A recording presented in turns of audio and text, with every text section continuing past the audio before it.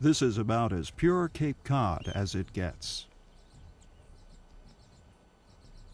So is this.